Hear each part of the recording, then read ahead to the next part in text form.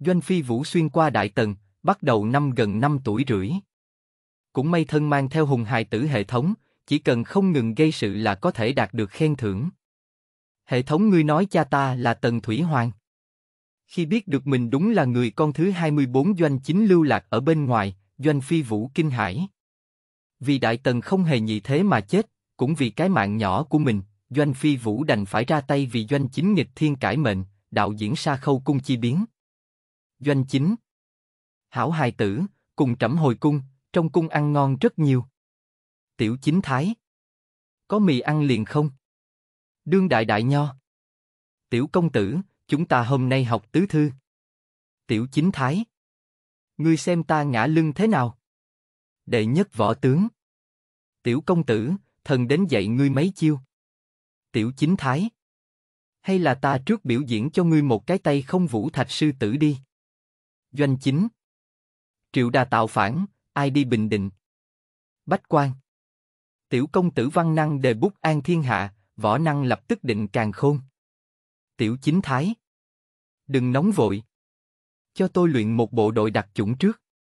Vốn chỉ muốn làm yêu hỗn cái hệ thống khen thưởng, chưa từng nghĩ lại bị Tần Thủy Hoàng làm người nối nghiệp bồi dưỡng. Chương 1 Báo cừu cho mẹ Bạn đang nghe tại truyện chấm audio. Ta nói hệ thống đại ca, ngươi xác định doanh chính chính là lão cha tiện nghi của ta. Trong thành Vân Dương, bên ngoài một cung điện tráng lệ, một đạo thân ảnh nho nhỏ nhíu mày, sau lưng đeo một cái túi vải nhỏ, len lén trốn ở góc tường, nhỏ giọng nói thầm. Ký chủ yên tâm, hệ thống phán định tuyệt đối sẽ không sai. Hệ thống kia máy móc như thanh âm ở trong đầu truyền đến, làm tiểu tử nhíu chặt lông mày lại sâu nửa phần. Hắn gọi Doanh Phi Vũ, năm nay năm tuổi rưỡi, là hậu thế hồn xuyên đi tới thời đại này. Cùng vô số người xuyên Việt giống nhau, vừa sinh ra hắn liền có được người xuyên Việt tiêu chuẩn, hệ thống. Nhưng hắn cái hệ thống này lại thập phần làm người ta đau trứng. Hệ thống gấu con. Tên như ý nghĩa, hắn phải không ngừng gấu, không ngừng nghịch ngợm gây sự mới có thể đạt được phần thưởng. Cho nên trong năm năm rưỡi này, thôn tụ Long huyện Vân Dương xem như bị hắn quấy nghiêng trời lệch đất, dân chúng trong thôn đối với hắn vừa yêu vừa hận. Đừng nhìn hắn có khuôn mặt tiểu chính thái Hàn Quốc, cái gì mà đại tiện lau cửa nhà người ta, dẫm lên cải trắng nhà người ta luyện tập khinh công trôi nổi trên mặt nước hắn cũng làm không ít chuyện. Làm hại mẹ nàng mấy năm nay bồi tội không ít cho người trong thôn. Bất quá ngay tại nửa tháng trước, hắn cái kia một mực buồn bực không vui nương đột nhiên được bệnh nan y, tìm khắp lương y không có kết quả sau, hệ thống đột nhiên tuyên bố nhiệm vụ, để cho hắn đi tìm tra cha tính sổ, khen thưởng còn lại là một quả dịch cân tẩy tủy đan, có thể giải hết thảy bệnh nan y. Chẳng phải đó là thứ hắn cần sao? Kỳ thật trước đó hắn cũng đã đoán được, hắn cái kia số khổ mẫu thân nhất định là đụng phải tra nam, bằng không làm sao có thể thường xuyên đối với một viên ngọc bội khóc. Để cho hắn không nghĩ tới chính là, hắn cái kia tra cha dĩ nhiên là thủy hoàng đế doanh chính. Cái này còn chưa tính. Mấu chốt bây giờ là năm 210 trước công nguyên.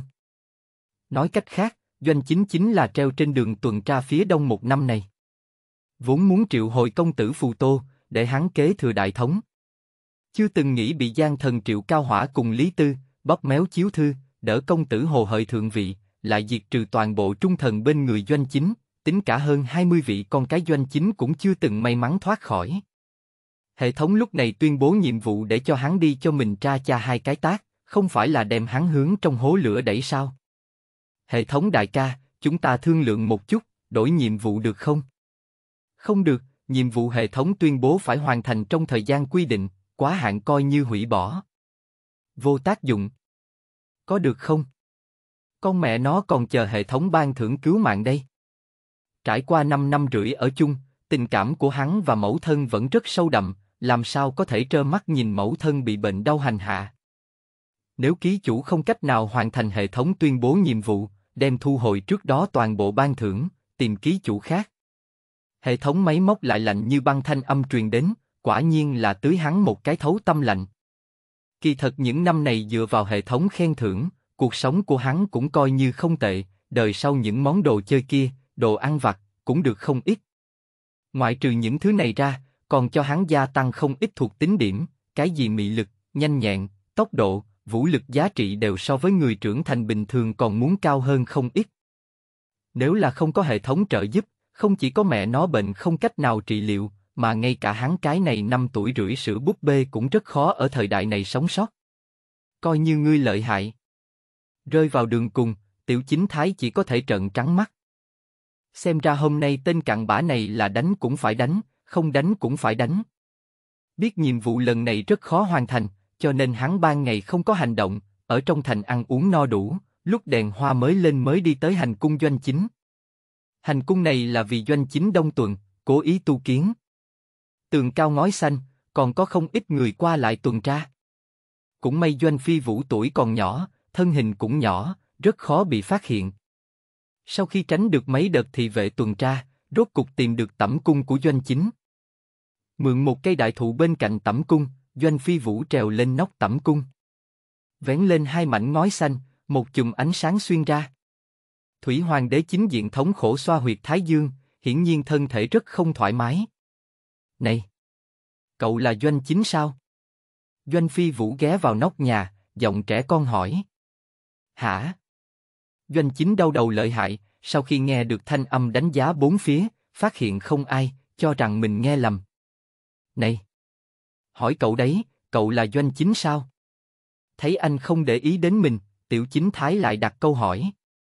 Lần này Doanh Chính nghe rõ ràng, quả thật có người đang nói chuyện với mình, sau khi đánh giá một vòng, theo bản năng ngẩng đầu nhìn lên nóc nhà. Quả nhiên, một tiểu oa nhi môi hồng răng trắng đang ghé vào nóc nhà, chớp đôi mắt to đáng yêu hỏi hắn. Đổi lại là người khác, giờ phút này doanh chính nhất định sẽ tuyên thị vệ ngoài cửa vào cửa tróc nạ thích khách, nhưng đối mặt với một tiểu oa nhi đáng yêu, doanh chính thật đúng là làm không được. Một đứa trẻ mà thôi, có thể có tâm tư xấu gì chứ? Ngươi là hài tử nhà ai? Vì sao chạy đến đỉnh hành cung của trẫm? Doanh chính nhíu mày hỏi. Cậu nói trước cho tôi biết, cậu là doanh chính sao?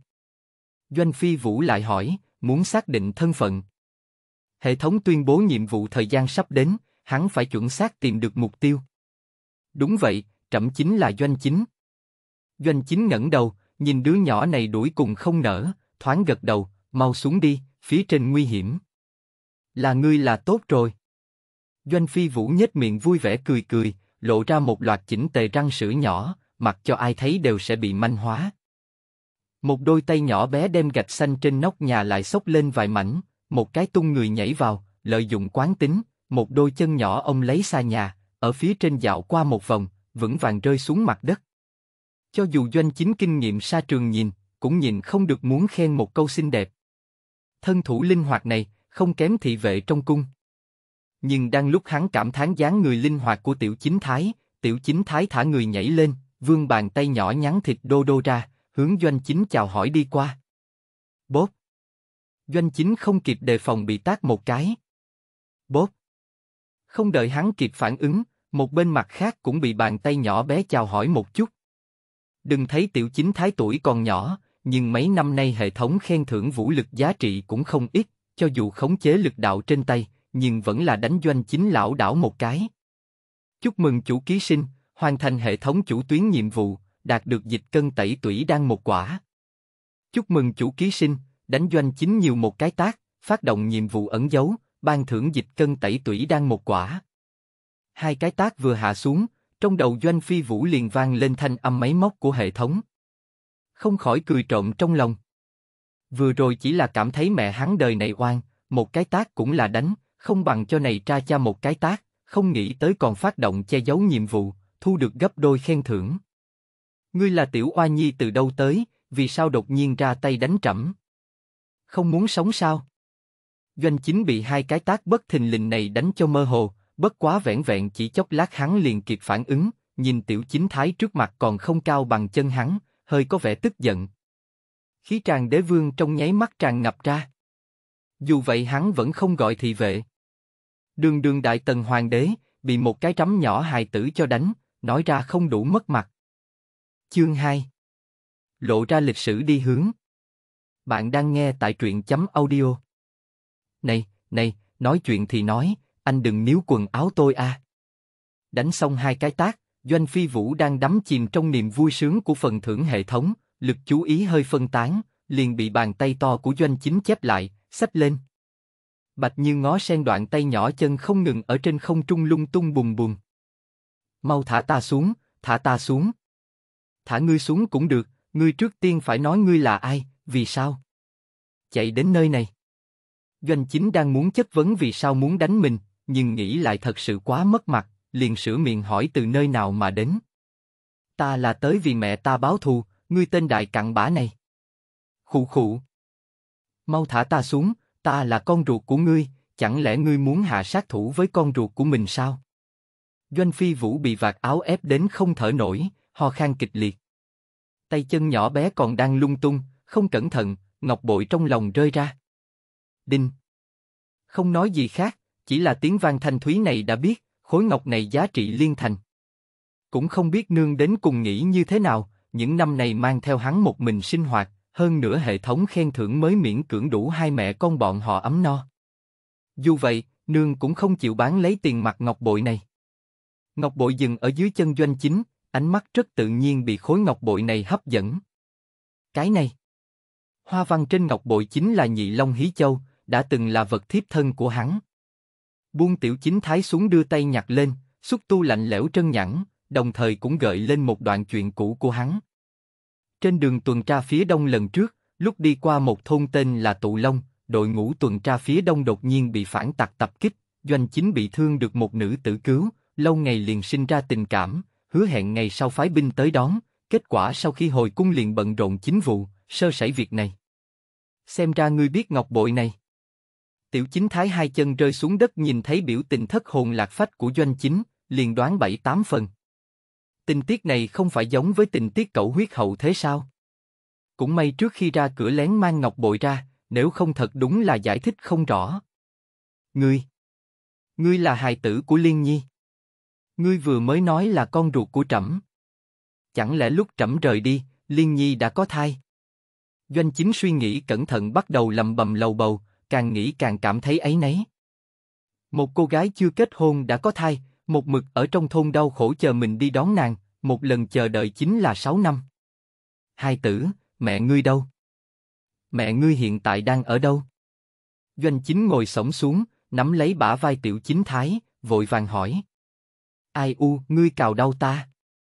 Linh hồn của Doanh Phi Vũ mặc dù là một đại tiểu tử hơn 20 tuổi, nhưng thân thể này vừa mới 5 tuổi rưỡi, làm sao chống lại hắn mạnh mẽ như vậy? Tốt, tốt, ta không bắt ngươi, ngươi nói mau, mẹ ngươi hiện tại ở đâu?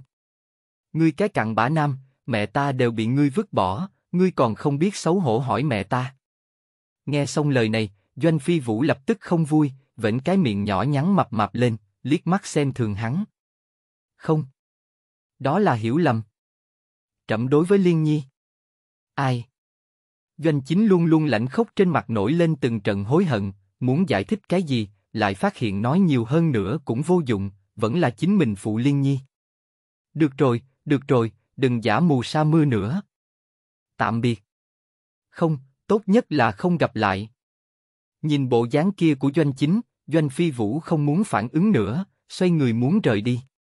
Nhiệm vụ hệ thống đã hoàn thành, vẫn là thừa dịp lão hóa này không kịp phản ứng nhanh chóng tránh người đi. Đợi đã. Nhóc, cậu đi đâu vậy? Hỏi đáp. Thắc mắc hỏi cách đao loa. Tôi. Đương nhiên là về nhà rồi, mẹ ta còn ở nhà chờ ta. Tiểu chính thái xoa xoa hai cái chân nhỏ mập mạp, không hề nghĩ ngợi nói. Về nhà. Nghe xong lời này, doanh chính từ trên xuống dưới đánh giá tiểu chính thái một phen, toàn thân chỉ có một cái áo dài, còn đánh đủ loại miếng vá, trên chân ngay cả đôi giày cũng không có, có thể tưởng tượng được hai mẹ con bọn họ trước đó trải qua ngày gì. Không được. Huyết mạch doanh chính hắn sao có thể lưu lạc ở bên ngoài, trải qua cuộc sống khổ cực như vậy. Trước đây chính vụ bận rộn, cô phụ Liên Nhi cùng đứa nhỏ này, hiện tại đại tần một mảnh tường hòa, dương nhiệt sáu nước cũng không dám nhảy nhót nữa, là thời điểm đón hai mẹ con bọn họ hồi cung. Hai tử, ngươi không thể đi, ngươi là trẫm nhi tử, cùng trẫm hồi cung, trẫm bảo vệ ngươi cùng mẹ ngươi vinh hoa phú quý. Doanh chính sải bước đi tới, không lưng, ôn nhu nói. Hừ hừ. Vinh hoa phú quý. Ngươi có thể đánh đổ đi. Nhưng mà, tiểu chính thái lại hừ lạnh hai tiếng, đem khuôn mặt nhỏ nhắn gạt sang một bên. Như thế nào? Ngươi không tin? Ngươi có thể tìm được trẫm, chắc hẳn cũng biết trẫm thân phận, trẫm là đương kim hoàng đế, thống nhất sáu nước, cùng trẫm hồi cung, từ nay về sau sẽ không ai có thể khi dễ hai mẹ con các ngươi. Doanh chính cố gắng giải thích, muốn cho tiểu tử quật cường này tin tưởng mình. Thôi đi, cùng ngươi hồi cung ta ngay cả mạng nhỏ cũng không có. Không. Có khả năng còn chưa tới cung, mạng nhỏ của ta đã không còn. Lời này có ý gì? Buổi nói chuyện không đầu không đuôi, nghe doanh chính vẻ mặt mơ hồ. Còn không phải bởi vì ngươi cái này tra nam vọng tưởng trường sinh, ăn kim loại nặng siêu chỉ kim đan, dẫn đến trong thân thể chồng chất độc tố quá nhiều, thường xuyên đau đầu, đau bụng, mấy ngày nay hẳn là càng nghiêm trọng, đợi đến cồn cát cung, mạng nhỏ của ngươi cũng liền công đạo. Đến lúc đó triệu cao sẽ bóp méo di ảnh, lập công tử hồ hợi làm đế, giết sạch thân tín bên cạnh ngươi, bao gồm tất cả hài tử của ngươi. Nếu là ta cùng ngươi trở về, cũng không phải là sống không được mấy ngày sao? Trên khuôn mặt nhỏ nhắn phấn điêu ngọc trác của tiểu chính thái tràn đầy khinh bỉ. Đinh, kiểm tra đo lường được ký chủ tiết lộ lịch sử hướng đi, ban thưởng khoai tây một túi hả? Khoai tây. Đây chính là thứ tốt a, sản lượng cao lại mỹ vị, lát nữa làm khoai tây chiên cho nương. Ngươi nói cái gì? Nghe xong lời của hắn, doanh chính trực tiếp kinh rất cầm. Đứa bé da này làm sao biết hắn đang ăn kim đan? Làm sao biết được tình trạng sức khỏe gần đây của hắn? Còn nói mình sẽ chết ở cồn cát cung. Cung điện đun. Khoảng cách Vân Dương cũng không xa lắm. Còn có. Triệu Cao thật sự sẽ mưu nghịch sau khi mình chết. Con trai, những chuyện này con nghe ai nói? Sắc mặt doanh chính khẩn trương, vội vàng hỏi. Hắn hiện tại hoài nghi, trong thành có lẽ còn có dương nhiệt sáu nước đang rải tin đồn, lừa gạt dân chúng. Một cái năm tuổi búp bê, nhất định là tin những kia dương nhiệt lời nói, bằng không làm sao có thể sẽ biết những thứ này, còn nói mình sắp chết. Sư phụ ta. Tiểu chính không hề nghĩ ngợi, thốt ra, nói giống như sự thật. Sư phụ. Sư phụ ngươi làm gì? Đang ở nơi nào? Doanh chính truy vấn. Sư phụ ta là cái râu bạc lão gia gia, biết trước sau hai ngàn năm sự tình, lời của hắn nói tuyệt đối không sai. Ta hôm nay tới chính là vì trút giận cho mẫu thân, hiện tại ta phải đi. Nói xong, tiểu chính thái đem ba lô phía sau mình chỉnh lại, lập tức nhảy lên bệ cửa sổ, chuẩn bị trèo lên xà nhà, theo nóc nhà rời đi. Hai tử, chờ một chút. Sư phụ ngươi ở đâu? Nhưng ở Vân Dương. Doanh chính bị lời nói của hắn lần nữa khiếp sợ, chạy đến bên bệ cửa sổ, ngăn cản tiểu chính thái. Giỏi lắm. Trên đời lại có người có thể biết trước sau hai ngàn năm sự tình, nếu là thu được dưới trướng, ngày sau đại tần nhất định thiên thu vạn tái. Chương 3 Là doanh chính kéo dài tính mạng. Bạn đang nghe tại truyện chấm audio. Sư phụ ta đã sớm bay đi, những chuyện này đều là sư phụ thật sớm trước kia nói cho ta biết, chỉ bất quá khi đó mẹ ta còn không có nói cho ta biết cha tên. Sợ lão hóa này oán giận mình không sớm nói cho hắn biết, tiểu chính thái đành phải nhanh chóng giải thích. À! Doanh chính lại khiếp sợ. Chẳng lẽ sự thật là có người có thể tiên tri? Thật sớm trước kia chính mình còn không có bắt đầu đông tuần, tiểu tử kia sư phụ cũng đã tính đến chính mình sẽ bệnh phát, chết ở cồn cát. Trẫm đối đãi với hắn không tệ, huống hồ hắn chỉ là cái trung sa phủ lệnh, trong tay cũng không có quá lớn thực quyền, làm sao có thể làm được giấu giếm, bóp méo di chiếu đây. Tuy rằng khiếp sợ, nhưng doanh chính vẫn cảm thấy có chút không thể tin được. Sư phụ ta nói, chỉ một mình hắn khẳng định không được, cho nên hắn nói động đến một cái gọi là Lý Tư Đại quan, mấy người hợp mưu sáng vị, sát hại Trung Lương, dẫn đến tần nhị thế mà chết. Tiểu chính thái lắc lắc đầu, nói có lý có cứ. Doanh chính suy tư thêm một chút, gật gật đầu. Triệu Cao là hoàng quan, lời của hắn triều thần chưa chắc tin tưởng, nếu là thêm vào một lý tư, chuyện này liền có bảy tám phần nắm chắc. Lý tư cùng mông gia không hợp, hồ hợi sau khi thượng vị chắc chắn nghĩ biện pháp diệt trừ. Nhưng trăm triệu lần không nghĩ tới, hồ hợi nghịch tử lại sau khi mình chết giết sạch tất cả hài tử của hắn. Nghĩ vậy, doanh chính hận nghiến răng nghiến lợi, lập tức lại dẫn đến đau đầu, tức ngực. Doanh chính ông đầu, đau lăn lộn trên mặt đất. Tình huống lần này so với lần trước còn kịch liệt hơn, nói không chừng chính mình ngay cả cồn cát cung cũng không tới được, ở cái này Vân Dương huyện cũng đã treo. Tình huống gì? Nhìn doanh chính thống khổ vạn phần trên mặt đất, tiểu chính thái cũng ngây ngẩn cả người. Vậy là phát bệnh. Lịch sử nói thật đúng. Lão hóa này chính là kim đan ăn quá nhiều, nếu không sống lâu hơn 10-20 năm không thành vấn đề. Quên đi. Tiểu chính thái hai tay chống nạnh, thở dài, sau đó bàn tay nhỏ bé mập đồ đồ tháo túi vải phía sau xuống, ở bên trong tìm ra một viên thuốc màu đen, nhảy xuống bệ cửa sổ, nhét vào trong miệng thủy hoàng đế. Gặp được tiểu gia coi như ngươi may mắn.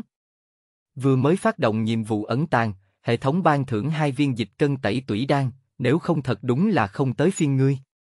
Doanh chính đau đầu muốn nứt, cơ hồ sắp ngất xỉu, chỉ biết là sau khi bị tiểu chính thái nhét thứ gì đó vào, đau đầu nhanh chóng biến mất, sau đó lỗ chân lông liền bắt đầu đổ mồ hôi rất nhiều, mồ hôi hội tụ, dĩ nhiên tất cả đều là màu đen, đã làm ướt sim y.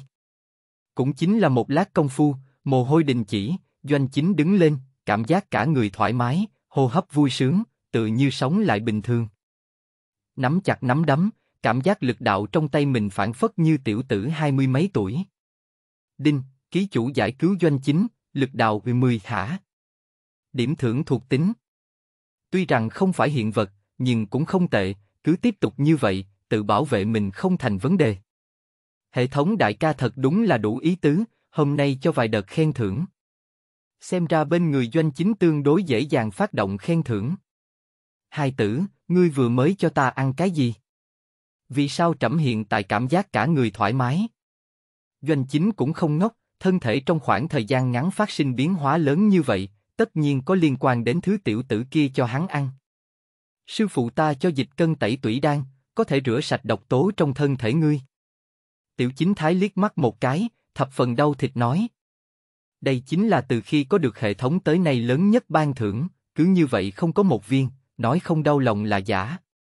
Dịch cân tẩy tủy đan này chính là sư phụ ta cho ta dùng bảo mệnh, hiện tại cho ngươi ăn, sống thêm mấy chục năm cũng không thành vấn đề. Ân, trẫm cũng cảm thấy cả người tràn đầy lực lượng. Doanh chính tinh thần phấn chấn, ngay cả ánh mắt cũng thanh minh không ít. Xem ra sư phụ của tiểu tử này thật đúng là cao nhân ẩn thế, ngay cả thần dược dịch cân tẩy tủy đan cũng có. Nói cách khác, lời nói của vị cao nhân ẩn thế kia đều là sự thật. Triệu cao gót hồ hởi hai người lòng dạ sói giả tâm. Đinh, hệ thống tuyên bố nhiệm vụ, triệu cao lòng lan dạ giả tâm, đem diệt trừ, khen thưởng thế giới bản đồ một bộ. Sao, hệ thống đại ca, vừa khen ngươi hai câu liền không đi theo con đường tốt. Đầu tiên là để cho ta đánh thủy hoàng đế, hiện tại lại để cho ta giết triệu cao. Ngươi đây là để cho ta đi tìm đường chết a? À? Doanh chính còn dễ nói, dù sao có quan hệ cha con, mạng nhỏ giữ được. Nhưng lão âm hóa triệu cao kia không biết hắn là ai, diệt trừ cũng không dễ dàng. Phần thưởng cũng không tệ.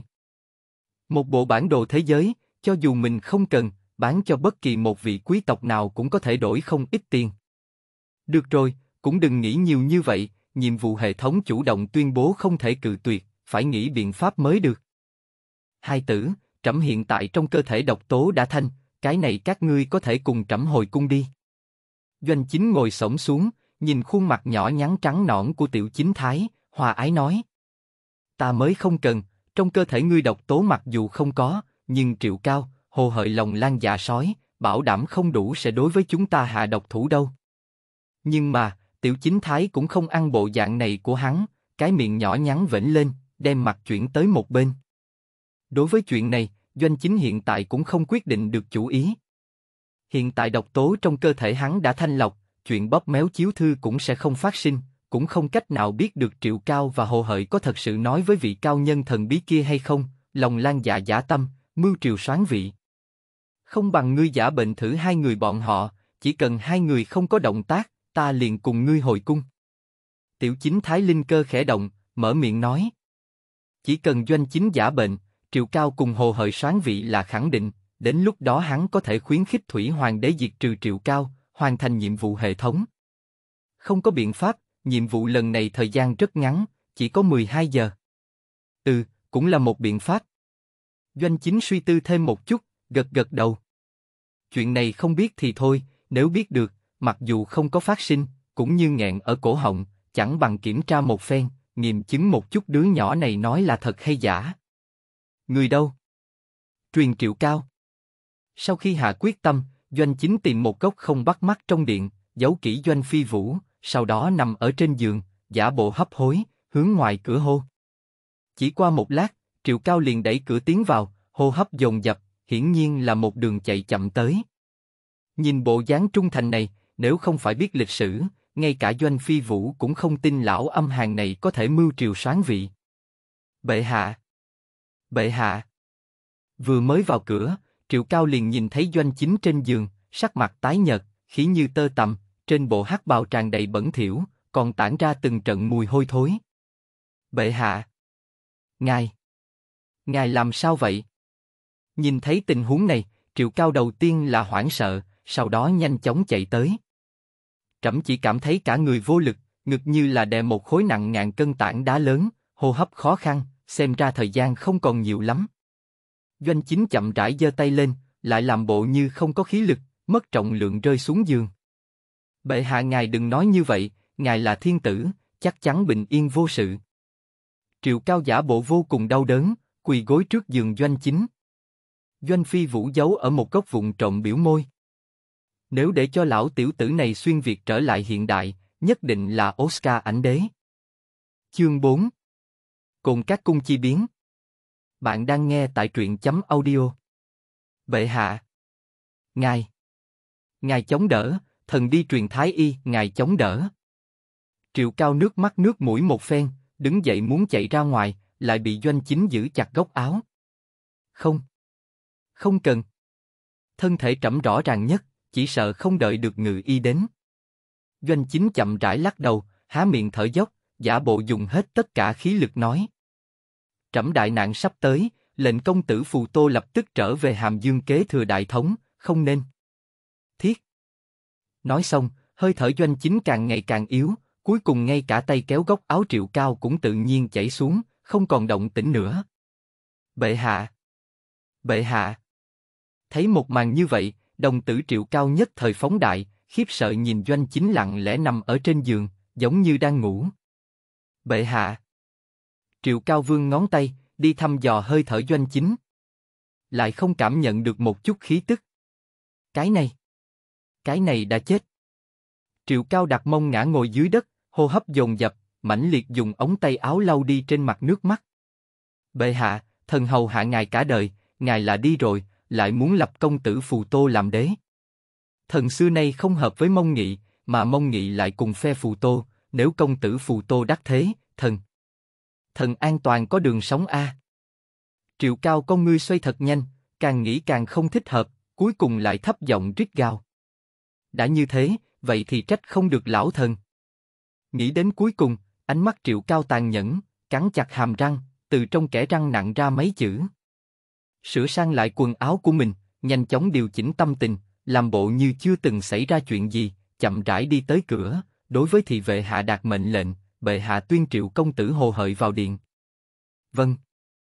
Triệu Cao là nội thị bên người doanh chính, lại là phủ lệnh trung xa, vì doanh chính truyền lời là chuyện rất bình thường, cho nên thị vệ không có bất kỳ hoài nghi gì, sau khi được lệnh nhanh chóng đi làm. Lúc này Triệu Cao căn bản không dám rời đi, sợ có người đột nhiên vào cửa, phát hiện Thủy Hoàng đế đã chết, đến lúc đó hắn lại đứng ra nói bệ hạ truyền ngôi công tử hồ hợi, chỉ sợ có người không phục. Đến lúc đó tất xung đột vũ trang. Đại tần binh mã một bộ phận rất lớn đều nắm giữ ở mông gia cùng vương gia trong tay, một khi phát sinh chiến loạn, bọn họ phần thắng không lớn. Chỉ có gọi công tử hồ hợi tới, sau đó tuyên bố với bên ngoài bệ hạ trước khi lâm chung, thù mệnh hồ hợi kế thừa đại thống, mới có cơ hội thành công. Doanh Phi Vũ vẫn trốn trong góc tối nhìn tất cả những chuyện này phát sinh. Không thể không nói, lão âm hóa triệu cao này thật đúng là có đầu óc, thấy Thủy Hoàng đế chết, lại không hoảng loạn, còn có thể đầu óc thanh tĩnh phân tích chuyện phía sau. Kéo kẹt cũng chỉ trong chốc lát, đại môn trong điện lại được mở ra, công tử hồ hợi mặc cẩm phục đi vào. Nhi thần bái kiến phụ hoàng.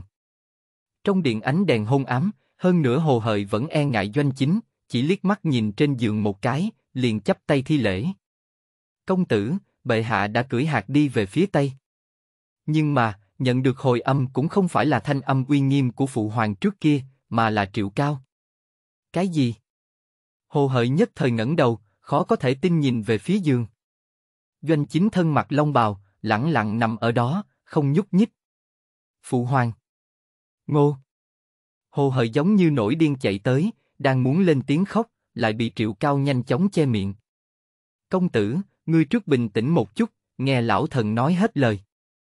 Triệu Cao là lão sư của công tử Hồ Hợi, nghe hắn nói như vậy, tâm tình Hồ Hợi dao động một lát, gật gật đầu, an tĩnh lại. Bệ hạ lúc lâm chung chỉ có lão thần ở bên người, cũng dặn dò lão thần, truyền triệu công tử phù tô nhanh về Hàm Dương, kế thừa đại thống. Điều này, điều này không có khả năng. Phụ hoàng đã chán ghét phù tô, đã đem hắn giáng chức đến thượng quận, làm sao có thể để cho hắn kế thừa đại thống? Hồ Hợi không ngừng lắc lắc đầu, hiển nhiên là không thể tiếp nhận tất cả. Hiện tại bệ hạ đã đi, di chiếu chỉ có ta một người biết được, kế thừa đại thống rốt cuộc là ai, còn không phải ta định đoạt. Triệu Cao hai mắt híp lại, hướng Hồ Hợi nháy mắt. Trên giường phía sau hai người, Doanh Chính trong lòng trầm xuống. Thế ngoại cao nhân kia nói không sai, Triệu Cao quả nhiên lan tử giả tâm, chỉ chờ mình cưỡi hạt đi về phía tây. Doanh Phi Vũ thì trốn trong bóng tối cười trộm. Xem ra nhiệm vụ hệ thống tuyên bố sắp hoàn thành.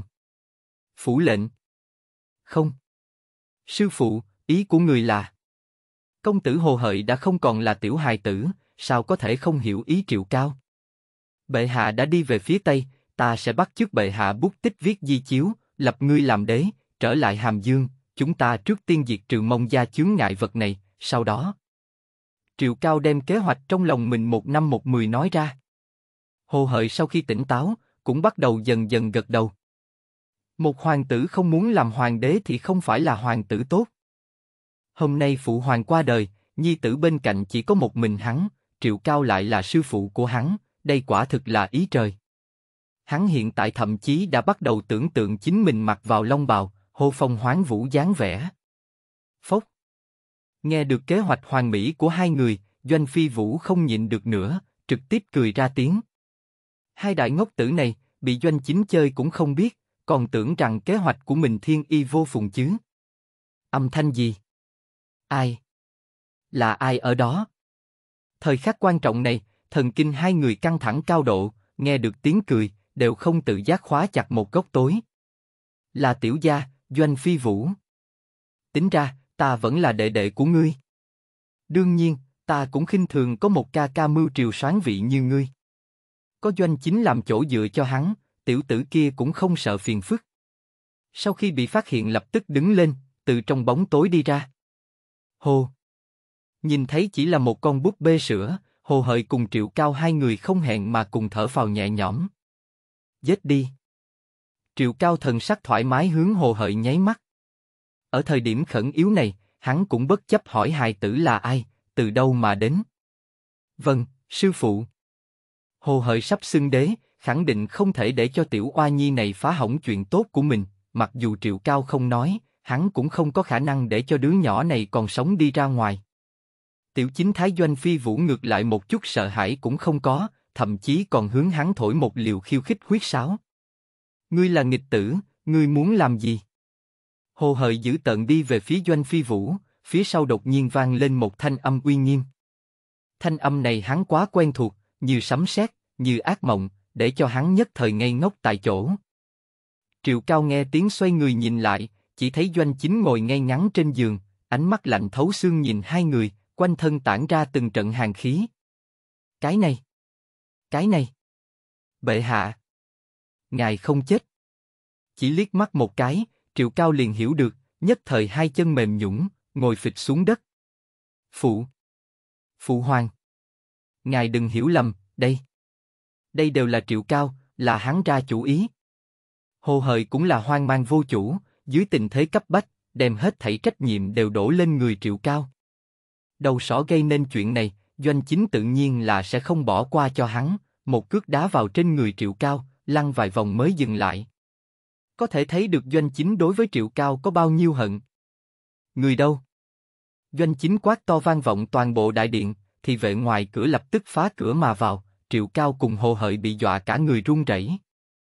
Chương 5 Trở lại chốn cũ Bạn đang nghe tại truyện chấm audio. Chúc mừng ký chủ, mượn tay người khác diệt trừ Triệu Cao, hoàn thành nhiệm vụ, ban thưởng thế giới bản đồ một bức doanh phi vũ không muốn bị máu bắn lên người, vì thế trốn vào một góc ăn tôm khô, uống nước khoáng, hoàn toàn không để ý tới tiếng gào thét và gào thét trong điện.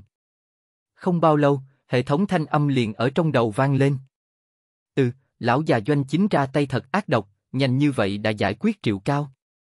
Được rồi, hệ thống nhiệm vụ đã hoàn thành, cái này có thể trở về. Doanh Phi Vũ nắm chặt con tôm cuối cùng, ném nó vào trong miệng, hít mắt hưởng thụ hương vị tươi ngon, sau đó vỗ vỗ miếng vụn trên tay, đứng dậy chuẩn bị rời đi. Đứng lại.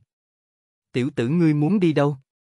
Giết triệu cao, đầy phối hồ hợi, doanh chính lúc này tâm tình cực kém, nếu không phải ăn dịch cân tẩy tủy đan, phỏng chừng bệnh cũ lại nên tái phát. Đương nhiên là tôi về nhà rồi. Cái miệng nhỏ nhắn phấn nộn của tiểu chính thái vừa mở vừa khét, đương nhiên nói. Tiểu tử ngươi hại trẫm bên người thiếu một vị đắc lực trợ thủ, lại thiếu một đứa con trai, ngươi nhất định phải bồi trẫm mới được. Doanh chính chậm rãi ngẩng đầu, trong mắt bò lên từng tia máu.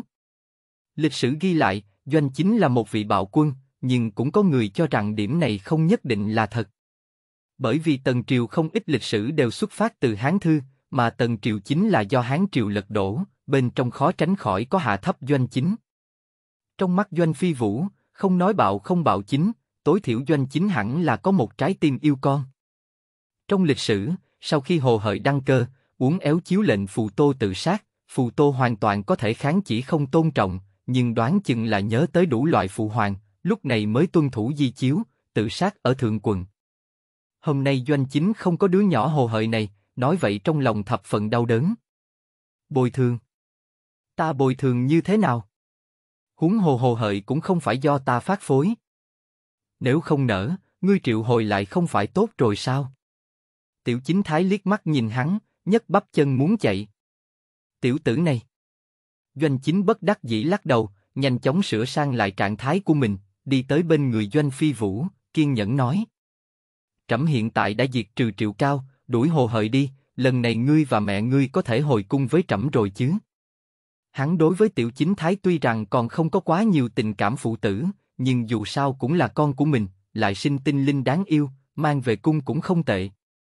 Hơn nữa đứa nhỏ này đã từng có một sư phụ, có lẽ sư phụ hắn còn nói với hắn những chuyện khác liên quan đến tương lai đại tần, trở về phải cẩn thận hỏi thăm. Ân. Vậy phải xem mẹ ta có nguyện ý hay không? Tiểu chính thái nghiêng đầu suy nghĩ nửa ngày, thốt ra một câu như vậy. Tên cặn bã này hại khổ mẹ nó, mẹ nó có nguyện ý đi theo hắn hay không, vậy có thể nói không tốt. Theo chính hắn mà nói, không có triệu cao cùng hồ hợi hai đại bại hoại kia, đi tận cung hẳn là cũng không tệ, coi như là soát khen thưởng đi. Những năm này ở tụ Long thôn gây sự, thời điểm nhận được phần thưởng càng ngày càng ít, thậm chí một tháng cũng không phát động được một lần khen thưởng.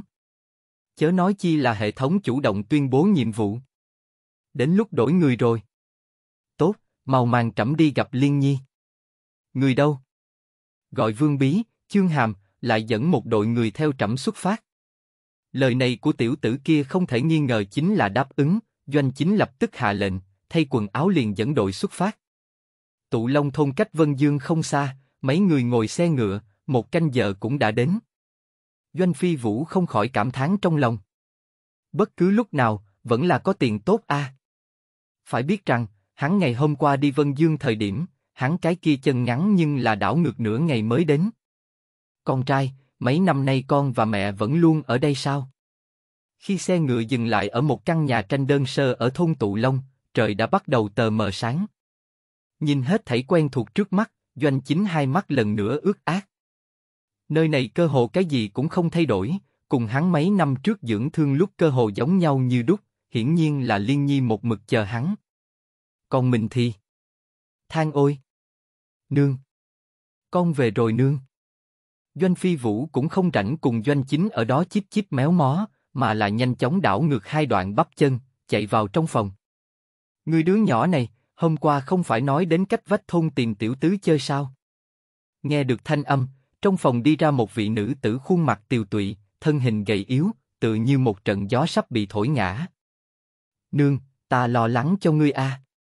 Tiểu chính thái ông lấy thân hình gầy yếu của nữ tử, khuôn mặt nhỏ nhắn mập mạp còn cọ cọ trên váy vải thô.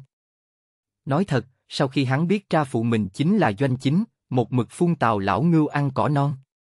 Doanh chính bây giờ cũng là người 49 tuổi, mà mẹ hắn mới 23 tuổi. Nói cách khác, mẹ hắn tại 17 tuổi thời điểm đã bị này đại tra nam cho ngủ, không phải trâu già ăn cỏ non còn có thể là cái gì.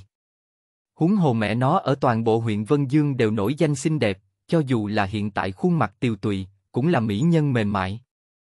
Nương không sao. Nương.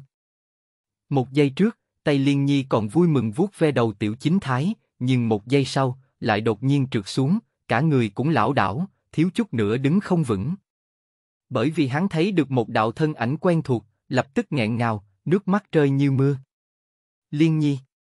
Lúc này Doanh Chính đã đi tới, khóe miệng mỉm cười, hai mắt trưng trưng. Cũng chính là một tiếng này, làm nữ tử tâm tình ba động càng lớn, gầy yếu thân thể rốt cuộc chống đỡ không được, ngã về phía sau. Doanh Chính nhanh tay lẹ mắt, nhanh chóng ông lấy, đi vào trong phòng. Mẫu thân.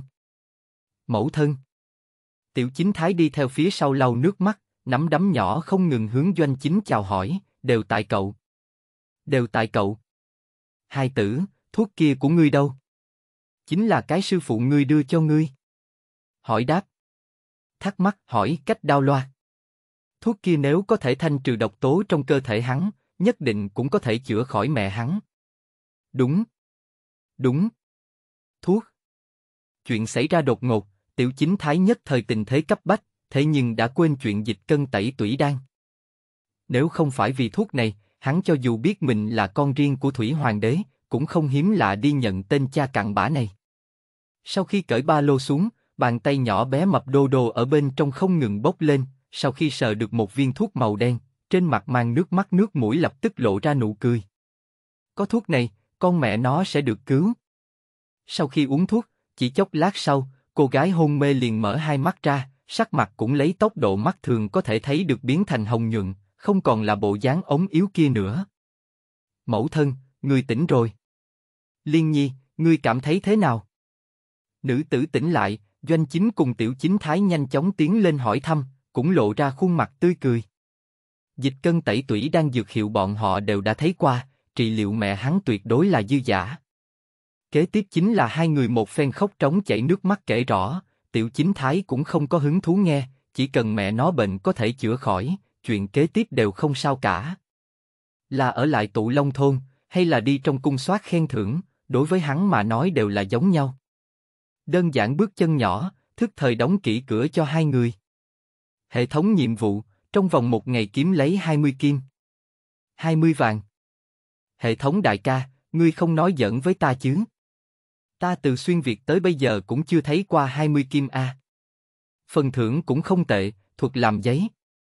Có tạo giấy thuật, cho dù mẫu thân không muốn tiến cung, về sau cũng có thể mở cái tiểu xưởng, thu một ít vỏ cây, cỏ khô đến làm giấy, cũng có thể làm giàu.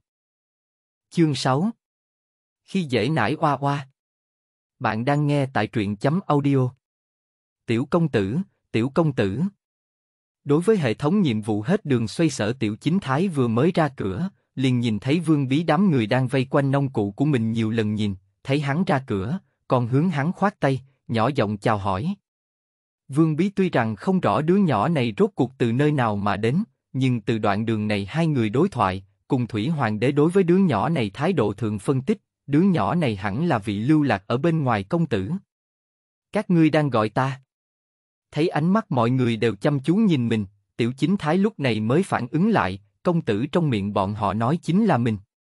Những năm gần đây tất cả mọi người gọi hắn là tiểu vũ, thỉnh thoảng lúc bướng bỉnh còn có thể có chút thôn dân gọi hắn là tiểu phá hài.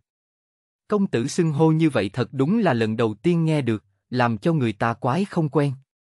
Đúng vậy. Vương Bí nhẹ gật đầu, sau đó chỉ vào bên cạnh hàng rào dựa vào một cái cây cày, tò mò hỏi, xin hỏi công tử, đây là vật gì?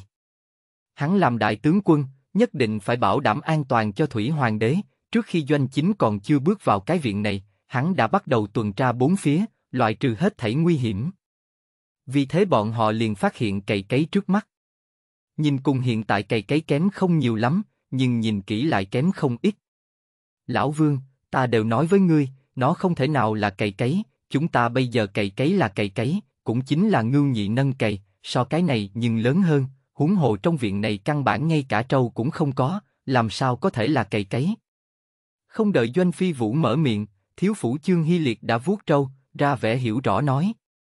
Ta cái này cày so với ngưu nhị nâng cày có thể lợi hại hơn nhiều, huống hồ đất canh tác không nhất định cần trâu, ta cùng mẫu thân giống nhau có thể. Nghe được hai người đối thoại, tiểu chính thái cứng cổ, vẻ mặt không phục. Mẹ hắn mang theo hắn một mình sinh hoạt không dễ dàng, nào có dư tiền đi mua trâu. Một con trâu đối với dân chúng bình thường như bọn họ mà nói, tương đương với một chiếc xe hơi đời sau. Các ngươi. Mọi người lắp bắp kinh hãi. Muốn nói thứ này là cày cấy thì có thể hiểu được. Nhưng nếu là nói hai mẹ con bọn họ có thể cày cấy, mặc cho ai cũng sẽ không tin tưởng. Vừa rồi khi nữ tử ra cửa mọi người đều thấy được, nhu nhược giống như dương liễu, có thể có khí lực kéo lê. Trước mắt cái này năm tuổi sữa búp bê liền càng không có khả năng. Như thế nào? Các ngươi không tin. Tiểu chính thái chân trần đi tới trước người mọi người, ngửa cổ hỏi. Tiểu công tử, coi như ngươi này cày cày hiệu suất cao, nhưng trâu cày làm sao cũng phải có, chỉ bằng vào nhân lực mà nói, coi như chúng ta thông võ hầu cũng làm không được a. Chương Hàm che miệng cười trộm. Cũng không phải hắn cố ý bất kính với vị tiểu công tử này, mà là lời này thật sự quá thái quá. Đất canh tác không phải nói có thể kéo cày coi như thắng, mà là muốn thể lực đủ dài mới được, đây cũng không phải là người bình thường có thể làm được. Vương Bí lắc đầu, ngậm miệng không nói, tỏ vẻ mình khẳng định không được. Các ngươi không tin. Ta đây cho các ngươi biểu diễn một cái như thế nào? Tiểu chính thái đảo mắt, nảy ra chủ ý. Vừa rồi vị đại hán để râu quai nón này, quản vị trung niên khổng võ hữu lực bên người kia gọi thông võ hầu, đó cũng chính là nhi tử vương bí của vương tiễn. Lúc trước còn xưng hô hắn là lão vương, chứng minh hai người thực lực tương đương. Xem ra hai người hẳn là đều là quan lớn trong triều, của cải hẳn là cũng không bạc, cái này 20 kim hôm nay liền do các ngươi tới ra. Biểu diễn Tiểu công tử, ngươi không phải là nói ngươi có thể kéo cái cây này chứ? Vương Bí cùng Chương Hàm nhất thời kinh rất cầm, ngay cả thị vệ phía sau bọn họ cũng bắt đầu nở nụ cười. Các ngươi chỉ cần ra một người nhẹ nhàng nâng chính cây cây, tiểu gia ta liền có thể lôi kéo đất canh tác. Tiểu chính thái chấp hai tay sau lưng, hơi đắc ý gật gật đầu. Lê Khúc Viên là phần thưởng của hệ thống, cũng là một loại cày thường dùng ở đời sau, phân lượng cũng không nặng. Huống hồ tối hôm qua hệ thống còn khen thưởng lực lượng thuộc tính, hơn nữa trước đó, hiện tại lực đạo trên tay hắn làm sao cũng có cái mấy trăm cân, kéo cái cày cày không thành vấn đề. Lão chương ta là người thô lỗ, đọc sách ít, tiểu công tử cũng đừng gạt ta. Chương hàm nhếch miệng cười to, hiển nhiên vẫn không tin. Nếu các ngươi không tin, chúng ta đánh cuộc một phen như thế nào? Tiểu chính thái giả bộ tức giận vẫn cái miệng nhỏ nhắn lên, dậm chân một cái. Cười chết ta rồi, tiểu công tử, ngươi nói đi, muốn đánh cuộc như thế nào? Nếu như ta có thể kéo cái này cày coi như thắng, hai người các ngươi mỗi người cho ta 10 kim, lại nằm sắp xuống để cho ta làm ngựa cưỡi. Nếu ta thua, thì... thì sao? Doanh Phi Vũ mở ba lô ra, nhìn đồ vật bên trong suy tư hồi lâu, cuối cùng móc ra hai cái gương, liền đem cái này cho các ngươi. Những đồ ăn vặt gì gì đó hắn muốn giữ lại mình ăn, quá quý trọng lại không muốn lấy ra, cuối cùng chọn hai cái kính thủy tinh khéo léo. Đồ chơi này đối với hắn cái này hậu thế xuyên việt giả mà nói không hiếm lạ, nhưng đối với này hai vị tần triều quan lớn có thể là bất đồng. Thời đại này chỉ có gương đồng, người chiếu ra vô cùng mơ hồ. Thậm chí bách tính gia bình thường ngay cả gương đồng cũng không có, chỉ có thể lúc rửa mặt mượn nước trong chậu rửa mặt đơn giản chiếu rọi. Thứ đồ chơi này ra tay, khẳng định so với kim ngọc còn trân quý hơn. Quả nhiên, sau khi hai người nhìn thấy kính thủy tinh trong tay tiểu chính thái, nhất thời cả kinh. Theo bản năng còn làm ra một bộ chuẩn bị chiến đấu. Không có biện pháp, nhân vật trong gương thật sự quá rõ ràng, không cẩn thận sẽ lầm tưởng nhân vật trong gương là chân thật tồn tại. Ha ha ha. Các ngươi sợ cái gì? Trong gương chính là các ngươi. Tiểu chính thái giống như nhìn kẻ ngốc nhìn hai người, ở trong lòng thầm mắng đại sơn pháo. Chính chúng ta. Chương Hàm và Vương Bí đầu tiên là sửng sốt, sau đó nhìn kỹ, thật đúng là mình, ngay cả động tác cũng giống mình như đúc. Tiểu công tử, lời ngươi vừa nói có giữ lời không? Sau khi kịp phản ứng, trong hai mắt Chương Hàm rõ ràng lộ ra một tia tham lam. Đồ chơi này nếu là cầm tới đưa cho Di Hồng viện đầu bài thải điệp, nàng còn có thể không theo chính mình. Tính toán. Tự nhiên tính toán. Doanh Phi Vũ không hề nghĩ ngợi, lập tức gật đầu. thầm nghĩ. Dù sao các ngươi cũng không thắng được, cho dù lấy kim cương ra đánh cuộc cũng không thành vấn đề. Tốt, ta đây tới đỡ cày, chỉ cần tiểu công tử có thể kéo cày 15 trượng, thần coi như thua, lập tức liền đem 10 kim dân lên, như thế nào? Chương Hàm hiện tại trong đầu đều nghĩ đến một cái nhăn mày một nụ cười của Thải Điệp, thầm nghĩ nhanh chóng đem gương thắng tới tay. Không thành vấn đề. Tiểu chính thái chớp mắt một cái, gật gật đầu. Lão Chương, chúng ta như vậy không tốt lắm chứ? Thừa dịp tiểu chính thái đi bỏ ba lô, vương bí oán hận cánh tay Chương Hàm, nhỏ giọng nói thầm. Nói như thế nào tiểu tử này cũng là công tử, huống hồ chỉ có 5 tuổi. Hai người bọn họ cộng lại cũng sắp 100 tuổi, đi khi dễ một con búp bê sữa 5 tuổi, truyền ra ngoài cũng không dễ nghe a. Đây chính là tiểu công tử muốn đánh cược với chúng ta, chúng ta cũng chỉ là đang cười nhạo công tử chơi mà thôi, sợ cái gì? Chương Hy Liệt thì lơ đỉnh Mặc dù đợi lát nữa đại vương hỏi tới, hắn cũng không đuối lý. Hôm nay cái gương kia hắn là muốn định. Chương 7 Trời sinh thần lực Bạn đang nghe tại truyện chấm audio. Đến đây đi. Tiểu chính thái đặt ba lô sang một bên, lại cò cò hai bàn tay nhỏ bé lên quần áo, đứng trước khúc viên lê. Cái này cày mặc dù là hậu thế cải tiến qua đi sản phẩm, không giống ngưu nhị nâng cày như vậy cồng kềnh, nhưng như thế nào cũng so với một cái năm tuổi vú em cao hơn. Tiểu tử kia đứng ở phía trước làm ra một bộ muốn kéo, đem tất cả mọi người ở đây chọc cười. Tốt. Tiểu công tử, chúng ta bắt đầu đi. Chương Hàm gật đầu, vịn đuôi cày. Tiểu công tử phải cố gắng lên. Bọn thị vệ miệng hô khẩu hiệu, nhưng biểu tình trên mặt bọn họ đều là cười đùa ngược đãi. Hư hư. Dám coi thường tiểu gia. Đợi lát nữa tiểu gia sẽ làm rớt cầm các ngươi. Doanh phi vũ hít sâu một hơi, bàn tay nhỏ bé mập mạp cầm lấy lưỡi cày, bắt đầu nhấc chân lên thật nhanh. Ai u. Chương Hàm phía sau đang cùng bọn thị vệ tương tác, cũng căn bản không nghĩ tới đứa nhỏ này có thể kéo, đột nhiên lão đảo một cái, thiếu chút nữa ngã chó ăn cứt. Điều này, điều này sao có thể? Chương Hàm vẻ mặt khiếp sợ, theo bản năng nhanh chóng đuổi theo, đỡ chặt đuôi cày. Chẳng lẽ là ta hoa mắt? Vương Bí ở một bên vội vàng dụi dụi mắt, khó có thể tin nhìn một màn trước mắt. Trời ạ, tiểu công tử trời sinh thần lực a. Tốc độ còn cực nhanh, chương thiếu phủ chúng ta đều phải bước nhanh mới có thể theo kịp. Chương thiếu phủ vẫn là người từng làm tướng quân. Nhìn thấy một màn như vậy, thì vệ lúc trước vẻ mặt trêu tức tất cả đều kinh rụng cầm. Chương Hàm trước khi làm thiếu phủ cũng từng dẫn binh đánh trận, thể lực mạnh hơn người bình thường nhiều. Nhưng dù vậy, đi theo phía sau doanh phi vũ cũng phải chạy chậm, mệt đến thở hồng hộc. Lúc này hắn giống như nhìn quái vật giống nhau nhìn chầm chầm phía trước như dẫm trên đất bằng tiểu chính thái, một câu cũng nói không nên lời. Liên nạp buồn bực, một con búp bê sữa năm tuổi, rốt cuộc là lấy đâu ra khí lực kéo cày cày này. Mấu chốt còn mẹ nó đi nhanh như vậy. Lần này thua rồi. Các ngươi có thấy không? Vương Bí thoáng nghiêng mặt cùng phía sau thị vệ nói chuyện, nhưng ánh mắt nhưng thủy chung dừng lại ở trên người hai người. Cái này cày cùng chúng ta hiện tại cày khác nhau rất lớn. Chúng ta hiện tại cần một người dắt trâu, một người khống chế cày vượng, điều tiết nông sâu, còn phải có một người đỡ cày. Không nói dùng bao nhiêu cày trâu, chỉ là sức lao động liền cần ba người, mà trước mắt này cày chỉ cần một người là có thể thao tác. Sau khi thoát khỏi cú sốc, hắn liền phát hiện ra điểm này. Nếu như toàn bộ đại tần đều dùng loại cây này, về sau mỗi nhà chẳng phải là ít nhất phải tiết kiệm ra hai gã sức lao động sao? Có những người này, có thể khai hoang trồng trọt, gia tăng sản lượng lương thực. Còn có thể tham gia quân ngũ bảo vệ quốc gia, khiến đại tần càng thêm giàu mạnh, quả thực chính là thần khí lợi nước lợi dân. U, thật đúng là, thông võ hầu không nói ta còn không có phát hiện. Cái này cày ăn đất còn rất sâu, chiếu so với chúng ta bây giờ cày cũng tốt hơn nhiều lắm.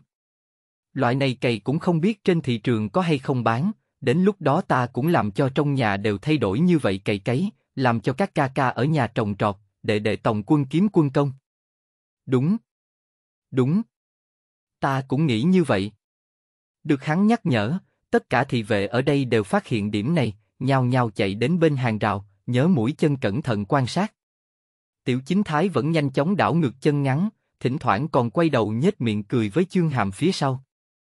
Mà chương hàm cũng không thoải mái như hắn, sau vài vòng, đầu đã đầy mồ hôi, hô hấp cũng trở nên dồn dập. Tiểu. Tiểu công tử. Được rồi. Chúng ta dừng lại đi. Ta. Ta thua. Cái này nhận thua. Lão nhân ngươi cũng không được a. Nghe tiếng, tiểu chính thái dừng bước, buông tay, ném cày xuống. Vốn còn muốn lại chạy lão hóa này vài vòng, không nghĩ tới nhanh như vậy liền nhận sợ. Cái gì cũng không phải. Tiểu công tử bước chân quá nhanh, thật sự theo không kịp a. Xe cày dừng lại, chương hàm cuối cùng cũng có thể thở ra một hơi. Tiểu chính thái thì bước chân nhỏ, đi ra hàng rào, nhặt ba lô mình ném ở trong sân lên. Bảo bối của hắn đều ở trong ba lô này, nói cái gì cũng không thể mất.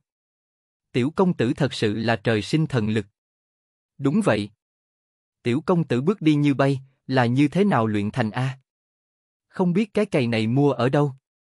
Trước đây tôi và chúng tôi chưa từng thấy qua.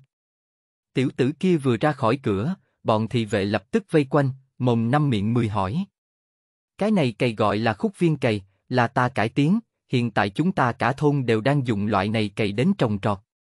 Tiểu chính thái hơi có vẻ đắc ý cười cười, sau đó chỉ vào chương hàm cùng vương bí hai người nói ra. Ta nhưng là lôi kéo cày cày, hai người các ngươi tranh thủ thời gian trả tiền, mỗi người 10 kim, còn phải cho ta làm ngựa cưỡi. Hắn hiện tại cũng không rảnh dạy những thị vệ này như thế nào cải tạo cày cày, vẫn là trước hoàn thành hệ thống nhiệm vụ là đứng đắn. Tốt. Người đâu? Lấy tiền. Chương Hy liệt cúi bả vai, mồ hôi trên trán trong suốt long lanh, hữu khí vô lực đi ra. Mười kim đối với thân phận như bọn họ mà nói thật đúng là không tính là gì, mấu chốt là mất mặt a. Đường đường một cái đại tần thiếu phủ, lại bị một cái năm tuổi tiểu hài tử chạy thở hồng hộc, nói ra không phải làm cho người ta cười rụng răng không thể. Huống chi còn muốn cho tiểu tử này làm ngựa cưỡi. Không được. Đợi lát nữa phải cảnh cáo những thị vệ này một chút, quay đầu lại nếu là có tin đồn nhảm gì truyền ra ngoài, có bọn họ quả tốt ăn. Cũng chỉ trong chốc lát, tiền của Chương Hàm và Vương Bí đã được đưa vào tay tiểu chính thái. Chúc mừng chủ ký sinh, hoàn thành nhiệm vụ hệ thống, khen thưởng thuật tạo giấy. Nhị thập kim cương bỏ vào ba lô, âm nhắc nhở của hệ thống liền vang lên trong đầu. Sau đó tiểu chính thái liền cảm thấy có đại lượng tin tức tràn vào trong đầu, phương pháp tạo giấy thuật đã hiểu rõ trong lòng. Cái kia. Tiểu công tử, ngươi xem. Chúng ta tiền cũng cho, có phải hay không cũng đừng làm ngựa cưỡi, chúng ta cũng đều là triều đình quan lớn, quỳ rạp trên mặt đất thật mất mặt a. Đúng vậy. Mặt mũi của chúng ta là nhỏ, mặt mũi của bệ hạ là lớn.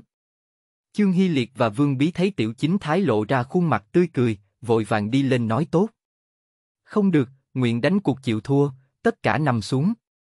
Nhưng mà, tiểu chính thái cũng mặc kệ những thứ kia, quát to một tiếng. Cái này, cái này.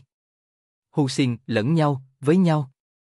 Ai có thể nghĩ đến một con búp bê sữa 5 tuổi, có thể kéo cày. Còn kéo thật nhanh. Nói ra ai tin a? À? Còn tưởng rằng lần này ổn thỏa thắng tiểu tử này một mặt gương.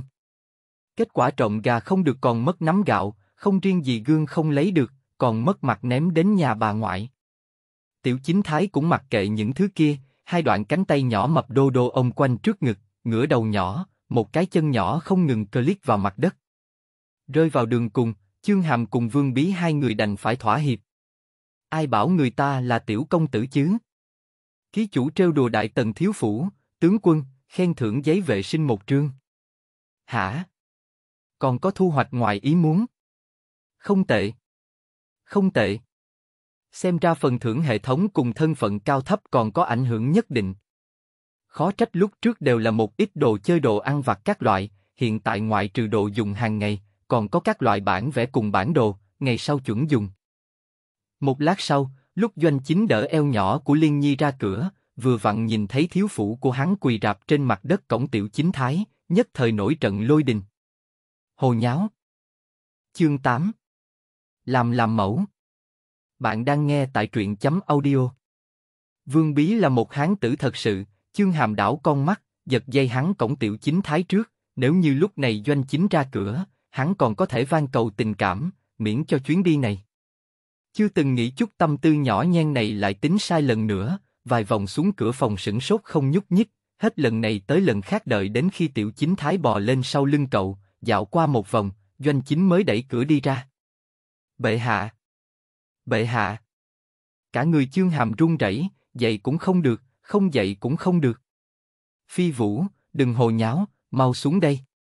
Vẫn là Liên Nhi mở miệng trước, phá vỡ cục diện bế tắc. Mẫu thân, ta không có hồ nháo, là chúng ta đánh cuộc, lão nhân này thua, cho nên mới chơi với ta. Tiểu chính thái vẫn ngồi trên lưng chương hy liệt, lắc lư hai bàn chân nhỏ, hoàn toàn không có ý đi xuống, trong miệng còn từng trận có từ. Đứa nhỏ này. Liên nhi nhíu mày, giả bộ tức giận ông hắn xuống. Đứa bé này là tự mình sinh, sao lại không biết? Nhất định là đứa nhỏ này lại lấy ra cái gì hấp dẫn người đồ chơi cùng đánh cuộc, lúc này mới phát sinh trước mắt một mạng. Bệ hạ thứ tội. Được giải cứu, chương hàm vội vàng chạy tới bên người doanh chính, phù phù một tiếng quỳ xuống. Bệ hạ thứ tội. Ngay sau đó, vương bí dẫn theo một đám thị vệ cũng đều quỳ xuống. Rốt cuộc đã xảy ra chuyện gì? Doanh chính lưng đeo hai tay, mặt như sương lạnh. Ặc. À. Là. Là. Chương Hy Liệt tự biết mất mặt đại tần, bị dọa đến hàm răng bắt đầu rung lên, ấp úng nửa ngày cũng không nói ra được mấy chữ. Ngươi nói đi. Vâng. Bị doanh chính điểm danh, Vương Bí nhanh chóng đứng dậy đi tới. Là như vậy, thần ở trong viện phát hiện một cày, tiểu công tử nói là cải tiến bản, chính mình có thể kéo động, vì vậy chúng ta liền đánh cược. Cái gì cày ngươi có thể kéo động? Doanh chính nghe xong cũng sửng sốt, đem ánh mắt dừng ở trên người tiểu chính thái. Chính là cái kia.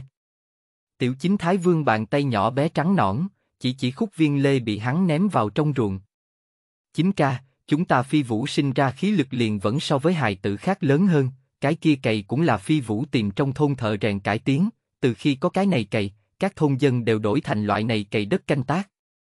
Hai năm nay cũng nhờ có thôn dân trợ giúp, mảnh ruộng này mới không hoang phế, bằng không thì bằng hai mẹ con chúng ta. Liên Nhi nói xong, tự hồ lại nhớ tới ngày trước chờ đợi, không khỏi lã chả rơi lệ. Liên Nhi, mấy năm nay trẫm phụ lòng các ngươi. Doanh chính lại lâm vào tự trách thật sâu. Nghe xong đoạn đối thoại này, Chương Hàm và Vương Bí lúc này mới hiểu được. Tình cảm những ruộng này đều là thôn dân giúp đỡ cày, không phải tiểu tử này tự mình kéo cày, chính mình bị lừa dối. Bất quá tiểu tử kia khí lực là thật lớn, đổi lại bọn hắn trong đó bất luận kẻ nào kéo cày đều có thể chạy nhanh như vậy. Bệ hạ, tiểu công tử nói cái này cày gọi là khúc viên lê, chỉ cần một người một trâu là có thể thao tác, so với chúng ta trước đó tốt hơn nhiều lắm, thần đề nghị đại lực mở rộng. Thần tán thành, vừa rồi chúng ta ở một bên nhìn chân chân thật thật, cày cấy này ăn đất rất sâu, xác thực so với cày cấy mạnh hơn nhiều lắm. Chương Hy Liệt, Vương Bí chấp tay đề nghị, ý đồ đem lực chú ý dời dời đến cày cấy. Đúng vậy. Những thị vệ khác cũng liên tục gật đầu tán thành. Ồ, vậy để hai người các ngươi làm mẫu cho trẫm. Doanh chính đem ánh mắt rơi vào trên người chương hàm, vương bí, ôn nhu trong mắt vừa rồi cũng biến mất hầu như không còn, chỉ có uy nghiêm của đế vương. Vâng. Chương hàm vừa mới thở dốc một hơi, mồ hôi trên trán còn chưa tiêu, đã bị phái ra ruộng, biểu tình thống khổ trên mặt có thể tưởng tượng được.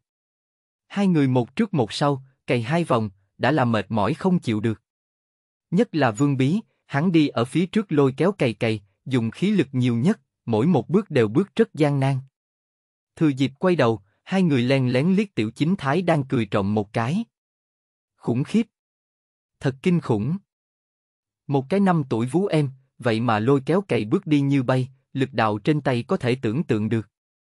Nếu là lên chiến trường, có lẽ có thể tay không đem đầu địch nhân vặn xuống. Ha ha ha. Thần khí, thật là thần khí. Doanh chính ở đầu đất nhìn hồi lâu, đột nhiên vỗ tay trầm trồ khen ngợi. Cái cây này quả nhiên đúng như lời bọn họ nói, không chỉ có tiết kiệm nhân lực vật lực, ăn đất cũng càng sâu, càng thích hợp gieo trồng. Con trai, làm thế nào con nghĩ đến việc cải thiện cây? Sư phụ dạy ta mà. Tiểu chính thái ngẩng đầu lên, hơi có vẻ tự hào nói. Sư phụ. Lại là sư phụ. Doanh chính trong lòng hơi chấn động. Xem ra vị cao nhân thần bí này dạy đứa nhỏ này không ít thứ, mỗi một thứ lấy ra đều là lợi quốc lợi dân. Được rồi, dừng tay đi. Lại quan sát một lát, doanh chính mới hạ lệnh cho hai người dừng lại. Hai người như trút được gánh nặng, mang theo mồ hôi to như hạt đậu đem cày cày kháng trở về. Các ngươi vừa mới đánh cuộc thua, không biết nếu là thắng thì như thế nào. Có được thần khí như khúc viên lê, tâm tình doanh chính cũng tốt hơn không ít, hứng thú hỏi thăm. Chương hàm xấu hổ biểu môi, kiên trì nói tiếp.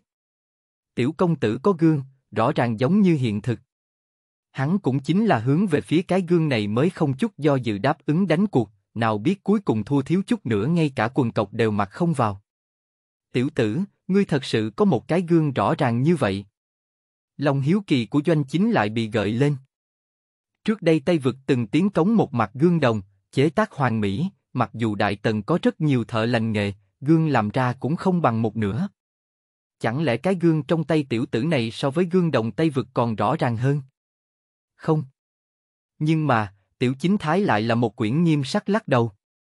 Cái gì? Không có. Doanh chính lập tức ném một ánh mắt cảnh cáo về phía chương hàm. Trong tay ta không chỉ có một mặt. Tiểu chính thái kéo ba lô xuống, lấy gương thủy tinh bên trong ra, cua cua dưới mí mắt doanh chính. Quả nhiên, ánh mắt doanh chính cũng bị hấp dẫn, lắc lắc đầu theo gương. Thần thánh. Chân thần. Lúc trước cho rằng cái gương tiến cống của Tây vực kia đã là rõ ràng nhất, hiện tại xem ra, hai người căn bản không thể so sánh. Gương trước mắt đúng như lời chương hàm nói, rõ ràng tự như hiện thực. Hai tử, có thể cho trẫm xem một chút không? Doanh chính ngồi sổng xuống, cười thương lượng với tiểu chính thái. Ân. Vậy ngươi nhất định phải cẩn thận, thứ này rất giòn. Tiểu chính thái nghiêng đầu suy nghĩ một chút, cuối cùng gật gật đầu, đưa gương qua. Thứ này ở thời đại này chính là có một không hai, phỏng chừng doanh chính thấy cũng phải nhớ thương, ngày sau dựa vào gương có lẽ còn có thể ở trên người hắn vớt chút chỗ tốt. Ngươi yên tâm, trẫm nhất định sẽ cẩn thận. Doanh chính cười hiếp mắt liên tục gật đầu, cẩn thận nhận lấy gương. Đầu tiên là lấy tay sờ sờ, xác định có trở ngại, không phải cái gì thần bí đường hầm sau, bắt đầu đối với gương trái phải chiếu, cuối cùng nhếch môi cười cười, lộ ra một cái răng vàng. Không sai, không sai. Thứ đồ chơi này ngay cả trẫm mỗi một căn râu đều thấy rõ ràng, thật sự là thần kỳ, hắc hắc. Con trai, con vừa nói cái gương này con không chỉ có một mặt. Vậy, có thể đưa cho trẫm một mặt hay không? Chương 9 Muốn nàng dâu Bạn đang nghe tại truyện chấm audio. Vậy cũng không được, ta cái gương này đều là sư phụ ta cho, không thể tùy tiện cho người. Doanh Phi Vũ biểu môi, liếc Doanh Chính một cái. Hai tử, cái kia. Trẫm lấy đồ đổi với ngươi, ngươi nói ngươi muốn cái gì đi. Trẫm đều đáp ứng ngươi. Gương đời sau đối với Đại Tần hiện tại mà nói, đó tuyệt đối là hấp dẫn trí mạng, không riêng gì nữ nhân thích, nam nhân cũng không ngoại lệ. Thậm chí một chiếc gương được chế tác tốt cũng có thể làm quà tặng cho các quốc gia khác. Doanh chính của vua một nước tự nhiên cũng không muốn bỏ qua. Thật sự cái gì cũng được. Tiểu chính thái nhướng mày, không có ý tốt cười nói. Quân vô hiến ngôn. Vậy ta muốn vợ. Muốn cái gì? Doanh chính hồ nghi, tự hồ không nghe rõ lời hắn nói. Ta muốn một người vợ. Người lớn trong thôn đều có vợ, ta cũng muốn vợ, còn phải là xinh đẹp vợ. Tiểu chính thái một lần nữa nhắc lại. Ha ha ha. Một câu nói khiến mọi người ở đây cười vang. Ngay cả chương hàm lúc trước vẻ mặt chua xót cũng cười rộ lên theo. Một con búp bê sữa, lại nói muốn vợ. Có vợ rồi anh có biết nên làm gì không? Phi Vũ, lại hồ nháo. Mẫu thân tiểu chính Thái Liên Nhi xấu hổ đỏ mặt, lặng lẽ kéo vạt áo tiểu chính Thái, ý bảo hắn đừng nói nữa. Mẫu thân, ngươi kéo ta làm gì? Ta không hồ nháo, ta là nghiêm túc. Tiểu chính Thái ngẩn mặt, chớp đôi mắt to đơn thuần nói. Ha ha, tốt, vậy ngươi coi trọng cô nương nhà ai trong thôn? Doanh chính nâng bụng nở nụ cười nửa ngày, mở miệng hỏi. Đứa nhỏ này vẫn sống ở trong thôn, coi trọng phỏng chừng chính là bạn chơi cùng nhau từ nhỏ. Hắn hiện tại đã chuẩn bị mang hai mẹ con bọn họ tiến cung, về sau đứa nhỏ này chính là hoàng tử, hoàng tử muốn ở trong thôn tìm một người vợ, phỏng chừng cũng không ai không đáp ứng. Đám người chương hàm cùng vương bí cũng đều trong mong nhìn chầm chầm tiểu chính thái, trên mặt tràn ngập nghiền ngẫm. Ta muốn con gái của hắn. Ngay khi mọi người chờ xem náo nhiệt, tiểu chính thái đột nhiên chuyển mũi nhọn, vương ngón tay út hướng vương bí. Nghe xong lời này, nụ cười trên mặt vương bí trong nháy mắt động lại. Nằm mơ cũng không nghĩ tới, tiểu tử này muốn vợ dĩ nhiên là nữ nhi của hắn. Hắn còn đang trông mong xem náo nhiệt đây. Lần này thì tốt rồi, hắn trở thành náo nhiệt trong mắt mọi người. Hắn quả thật có một nữ nhi, cũng là nữ nhi duy nhất, tên là Vương Uyển. Ở Hàm Dương Thành cũng là phi thường nổi danh. Bất quá nổi danh ngoại trừ Mỹ mạo ra, còn có tính tình. Tính tình nha đầu này bản tính không thua nam tử, tuy rằng năm nay mới 8 tuổi, nhưng dưới hoàn cảnh gia đình hung đúc, đau thương côn bổng thế nhưng không chỗ nào không thông. Ngày thường ở trong thành nếu là nhìn thấy hương thân ác bá gì, đều sẽ đánh người ta gào khóc. Ở thời đại này, nữ tử vô tài chính là đức. Nữ tử nhất định phải ôn nhu hiền thục, tương lai mới có thể gả cho một gia đình tốt. Nữ nhi của các đại thần khác đến 7-8 tuổi thì có vương hầu tướng tha môi đính hôn, 12-13 tuổi liền xuất giá. Mà nữ nhi của hắn hiện tại đã 8 tuổi rưỡi, theo lý mà nói chính là thời gian bà mối kết bè kết đội dẫm phá ngưỡng cửa, nhưng hết lần này tới lần khác nhà hắn không một ai tới cửa cầu hôn. Nguyên nhân chính là không ai dám cưới. Cưới về nhà làm gì? Chờ bị đánh sao? Một cái làm không tốt thì có thể bị đánh mặt mũi bầm dập, nếu là lại không đồng ý nạp thiếp, chẳng phải là mình liền mất đi hạnh phúc của mình. Mặc dù vương gia hắn một môn song hậu, cũng không ai muốn cưới. Ngươi xác định muốn cưới nữ nhi nhà vương khanh. Đối với vương Nguyễn, doanh chính tự nhiên cũng có hiểu biết, khóe miệng mang theo ý cười nhẹ nhẹ, mở miệng hỏi. Chương Hy Liệt cũng che miệng, bả vai không ngừng run rẩy, rõ ràng là đang cười trộm. Vậy thì tốt rồi, nếu bệ hạ đồng ý hôn sự này, về sau tiểu tử này dễ chịu. Đúng vậy. Tiểu chính thái gật đầu. Con trai, làm sao con biết hắn có con gái? Liên Nhi vẫn sinh hoạt ở trong thôn, cũng không biết Vương Bí là người phương nào, lại càng không biết nữ nhi của hắn tính tình như thế nào, chỉ là tò mò nhi tử vì sao biết được hắn có nữ nhi. Sư phụ ta nói. Tiểu chính lắc đầu, thoải mái nhàn nhã nói. Sư phụ ta nói, doanh chính đông tuần, vương bí đi theo, nữ nhi của hắn so với ta lớn hơn ba tuổi, lớn lên như hoa như ngọc, cho ta làm vợ không phải vừa vặn. Ti. Lại là sư phụ. Doanh chính không khỏi hít một hơi khí lạnh. Chẳng lẽ sư phụ đứa nhỏ này thật sự biết trước sau hai ngàn năm phát sinh chuyện gì? Nếu không làm sao hắn biết Đông Tuần sẽ mang theo ai? Còn biết Vương Bí có một nữ, thậm chí ngay cả tuổi tác nói cũng không kém. Hai tử, sư phụ ngươi còn nói gì nữa? Sư phụ nói nhiều quá, ta nhất thời không nhớ nổi. Tiểu chính thái vừa nói, vừa lấy khoai tây chiên ra nhai, ngẩng đầu nhìn chầm chầm doanh chính, cậu nói cậu có đồng ý hay không là xong. Cái này. Doanh chính hơi có vẻ khó xử suy tư một lúc lâu, ngẩng đầu nhìn vương bí một cái, chuyện này còn phải xem ý kiến vương khanh. Hắn là hoàng đế không giả, nhưng cũng không thể buộc người ta gả con gái, có đáp ứng hay không còn phải xem ý tứ của vương bí. Trong phút chốc, ánh mắt mọi người tất cả đều tụ tập đến trên người vương bí. Vương bí thì ngây ngốc tại chỗ, không có chủ ý. Lấy tính tình nữ nhi mà nói, có hoàng tử muốn cưới, chính là phần mộ tổ tiên bốc khói xanh, hắn hẳn là nhanh chóng chạy về nhà đốt hương mới đúng. Nhưng cũng chính là bởi vì tính tình nữ nhi kia, hắn mới không dám tự tiện đáp ứng. Một khi nữ nhi không đồng ý náo loạn, nhưng ngay cả hoàng cung cũng dám xông vào. Đây chính là tiểu công tử, cùng công tử liên hôn, các ngươi vương gia hậu bối cũng không cần lo lắng. Chương Hàm cố nén cười, mở miệng khuyên bảo, muốn thúc đẩy đoạn nhân duyên này. Chỉ cần hai nhà thông gia, phỏng chừng không bao lâu nữa, có thể ở Hàm Dương Thành nghe nói Vương Uyển treo cổ đánh vị hôn phu. Tần triều từ thương ưỡng biến pháp về sau, tước vị đều phải dựa vào quân công để kiếm, giống như vương gia nhiều thế hệ ở trên chiến trường chém giết tự nhiên quân công trác tuyệt. Nhưng dựa theo luật tần, tước vị là thế tập phải giảm xuống hai cấp. Nói cách khác, chỉ cần hai đời sau không chịu thua kém, vương gia bọn họ cũng sẽ xuống dốc. Nếu cùng hoàng gia liên hôn, mặc dù tiểu tử này ngồi không lên ngôi vị hoàng đế, sau khi trưởng thành cũng có đất phong của mình, hậu duệ vương gia bọn họ đi theo, cũng có thể trải qua cuộc sống không lo cơm áo. Vô luận nghĩ như thế nào, đáp ứng hôn sự này đều là trăm lợi không một hại. Lão Vương, tất cả mọi người đều nhìn anh đấy, anh đúng là ra vẻ. Chương Hàm dùng khuỷu tay oán hận Vương Bí bên cạnh, nhỏ giọng nói. Ặc! Hết thảy chỉ bằng bệ hạ làm chủ. Sau khi cân nhắc lợi hại, Vương Bí Hạ quyết tâm, chắp tay thi lễ. Ý tứ này rất rõ ràng chính là đồng ý. Trong nhà tiểu tổ tông kia nếu là biết muốn nháo thì để cho nàng nháo đi thôi, quay đầu lại phái thêm vài người nhìn, không cho nàng chạy ra ngoài là được. Tốt, vậy trẫm liền đáp ứng, chờ các ngươi cùng trẫm trở lại Hàm Dương, trẫm liền cho người đi làm. Vương Bí gật đầu, doanh chính tự nhiên không có đạo lý cự tuyệt. Đứa nhỏ này muốn cưới ai thì cưới người đó là được. Ha ha. Thật tốt quá. Thật tốt quá. Ta có vợ rồi. Tiểu chính rất cao hứng trực tiếp nhảy dựng lên. Chương 1 Cho ngựa đi giày. Bạn đang nghe tại truyện chấm audio. Hai tử, ngươi muốn cưới vợ trẫm đã đáp ứng, hiện tại gương có thể cho trẫm sao?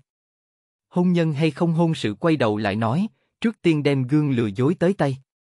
Có lẽ đứa nhỏ này trở lại Hàm Dương, sau khi nghe nói tính tình Vương Uyển kia, mình liền chủ động buông tha. Tốt, vậy cái này tặng cho ngươi, bất quá ngươi phải cẩn thận, vật này ngoại lực vừa đụng sẽ vỡ. Tiểu chính thái chỉ cái gương trong tay doanh chính vẫn nắm chặt nói. Tốt, tốt. Doanh chính vui vẻ gật đầu liên tục, đưa gương cho Chương Hy Liệt, người tới thay trẫm bảo quản. À, à. Chương Hàm đầu tiên là sửng sốt, sau đó kịp phản ứng, liên tục gật đầu. Triệu Cao tối hôm qua bị xử tử, hiện tại bên người doanh chính còn không có thái giám bên người, cũng không phải là hắn thu lại sao? Vương bí kia thảo hán tử, gặp phải chút chuyện ngay cả mạng cũng không cần, chớ nói chi là cái này trân quý gương. Mấy năm nay khổ cho hai mẹ con các ngươi, vậy cùng trẫm hồi cung đi. Doanh chính lần nữa quét mắt nhìn căn nhà tranh cũ nát, lời nói thấm thía nói với Liên Nhi. Được. Liên Nhi cười gật đầu. Điểm này quá sớm có dự liệu. Mẫu thân những năm này ngày nhớ đêm mong người ngay tại trước mắt, mặc dù thân phận của hắn không phải hoàng đế, phỏng chừng cũng sẽ nghĩa vô phản cố đi theo hắn đi. Đây chính là mị lực của tình yêu. Hai người đơn giản thu thập đồ đạc nơi này, liền theo doanh chính lên xe ngựa. Xe ngựa chậm rãi đi về phía trước, đầu tiên là đến Vân Dương hành cung mang theo mọi người, sau đó liền hướng Hàm Dương xuất phát. Huyện Vân Dương cách thành Hàm Dương đại khái 600 km, bọn họ ngồi xe ngựa mỗi ngày nhanh nhất cũng liền đi 100 km. Nói cách khác, muốn đến Hàm Dương, ít nhất cần thời gian 6 ngày. Vốn doanh chính ở đoạn đường này còn định dừng lại ở rất nhiều nơi, để biểu hiện uy nghiêm của thiên tử hắn. Nhưng nghĩ đến mẹ con bọn họ, vẫn quyết định đi thẳng tới Hàm Dương. Giữa chừng nghỉ ngơi, doanh chính ân cần hỏi Hang Liên Nhi, ân cần không thôi. Mà tiểu chính thái thì là vĩnh lên bắt chéo chân, dựa lưng vào một gốc cây đại thụ hóng mát, còn thuận tay hái một viên cỏ đuôi chó ngậm ở trong miệng, ai, đáng tiếc a đáng tiếc. Hai tử, làm sao vậy? Nghe được Doanh Phi Vũ câu nói không đầu không đuôi này, Liên Nhi mang theo làng váy đi tới, thân thiết hỏi thăm. Không có gì, mẫu thân, con chỉ cảm thấy tiếc cho những con ngựa này thôi. Tiểu chính thái phun ra cỏ đuôi mèo trong miệng, lẩm bẩm đứng lên. Ngựa. Liên Nhi theo ánh mắt tiểu chính thái nhìn lại. Một con ngựa đỏ thẫm được tướng sĩ dắt đi ngang qua trước mặt bọn họ, cẩn thận quan sát, ngựa tựa hồ khập khiển, tư thế đi đường rất quái dị. Những con ngựa này đều là chiến mã, lúc trước đều là lên qua chiến trường, lập được đại công, bây giờ cùng trẫm cùng nhau đông tuần, đúng là vẫn là chịu không nổi. Hiểu được hai người đang nói cái gì, doanh chính cũng đi tới, lưng đeo hai tay giải thích. Con ngựa này mập mạp cường tráng, màu lông ngăn nắp, đoán chừng chính trực tráng niên, cũng chính là nhiều năm chinh chiến, móng ngựa mài mòn nghiêm trọng mới có thể ngay cả đi đường đều không lưu loát. Nếu ngay từ đầu đã mang giày cho ngựa, cho đến chết chúng cũng sẽ không xuất hiện tình huống như vậy. Lỗ mũi tiểu chính thái hả giận, cười nhạo nói. Ở đời sau, những thứ này đều là thường thức sinh hoạt tối thiểu, ngay cả tiểu hài tử cũng biết. Bất quá cũng không thể trách bọn họ, móng ngựa sắt muốn tới hơn một ngàn năm sau đời nguyên mới chính thức xuất hiện, thời đại này ngay cả nghĩ cũng không ai dám nghĩ. Dạy cho ngựa. Một câu nói khiến doanh chính hai mắt tỏa sáng. Liền ngay cả chung quanh nghỉ ngơi đại thần cũng đều tới hứng thú, dần dần hướng bọn họ bên này dựa sát lại đây. Tiểu tử này nói không sai à, nếu là có giày cho ngựa mang vào, nhất định có thể giải quyết móng ngựa mài mòn quá nhanh vấn đề. Không biết giày này phải mang như thế nào? Doanh chính vội vàng mở miệng hỏi. Đại tần có thể thống nhất sáu nước, công lao của những chiến mã này không thể bỏ qua. Hàng năm tiêu phí tại thay đổi chiến mã trên tiền vô số kể, nếu là thật sự có biện pháp kéo dài chiến mã sử dụng tuổi thọ, liền có thể vì Đại Tần tiết kiệm một số lớn chi tiêu. Có dư thừa tiền, là có thể mua chiến mã, để Đại Tần thiết kỵ sang bằng toàn bộ thế giới. Cái này còn không đơn giản. Tiểu chính thái giống như nhìn kẻ ngốc nhìn doanh chính, bàn chân ngựa tự như móng tay của chúng ta, là không có cảm giác đau, cũng chính bởi vì như vậy, mới có thể làm cho hắn tùy ý chạy trốn, mà chiến mã vận động thời gian quá dài, bàn chân mài mòn quá nghiêm trọng, sẽ làm bàn chân bị thương, do đó xuất hiện tình huống vừa rồi. Muốn giải quyết cũng rất đơn giản, chỉ cần để thợ rèn chế tạo một cái đặc chế miếng sắt đinh ở trên móng ngựa là được. Thiết phiến đặc biệt. Buổi nói chuyện của tiểu chính thái khiến mọi người như lọt vào trong sương mù. Giống như hiểu được cái gì, lại giống như cái gì cũng không hiểu. Chờ đó. Tiểu chính thái nhanh chóng nhấc chân lên, lập tức nhảy lên xe ngựa, lục lọi trong ba lô nhỏ của cậu.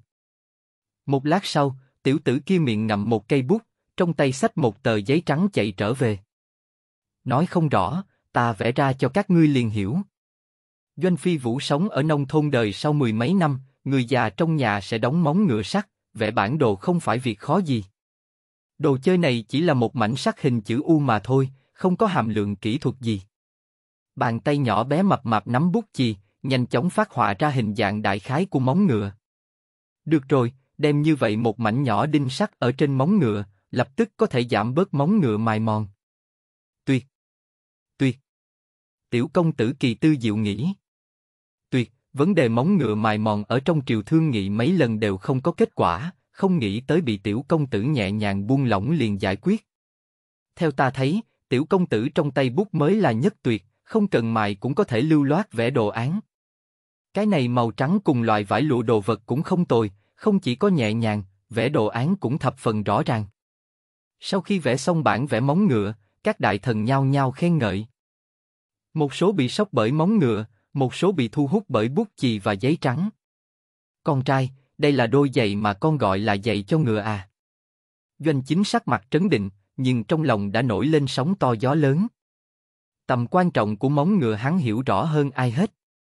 Đừng nhìn chỉ có một mảnh sắt nhỏ, tuyệt đối có thể khiến Đại Tần tiến lên một bước dài. Chúc mừng chủ ký sinh, kích phát thủy hoàng đế nội tâm hoành đồ chi chí, khen thưởng nhanh nhẹn từ 10 chúc mừng chủ ký sinh, làm triều thần khiếp sợ, tốc độ ư một chúc mừng chủ ký sinh, làm triều thần khiếp sợ, lực đạo ư một. Mẹ kiếp!